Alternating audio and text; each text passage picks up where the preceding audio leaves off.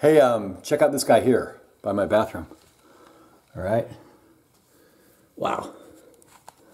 This guy here, he's a daddy long leg spider. Pholcus phalangioides. He's also known as a long bodied cellar spider. He's even called a skull spider because his cephalothorax sort of looks like a human skull. How about that? This one here is probably a female. Now her body is about a third of an inch. The males are a little bit smaller. And her legs are about five times the length of her body. So all in all, she's probably a little more than two inches long. So her front legs, they're known as palps. Oh, and they're a lot longer in females than males. All right, and they're used in predation and mating. She's got eight of these really long legs. Look at that. And she has eight eyes, and uh, she's got the hard exoskeleton.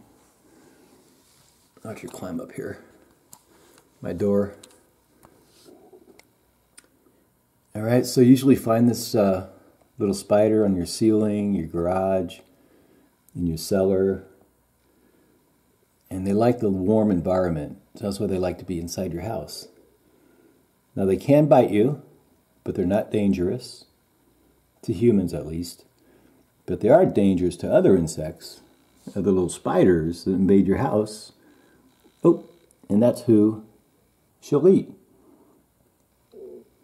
Sometimes you'll find like their web a little bit loose, kind of messy.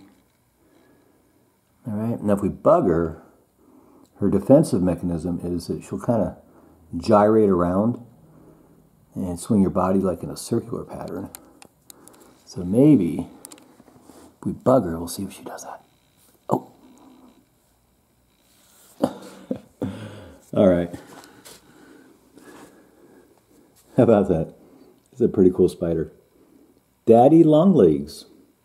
Pholcus phalangioides.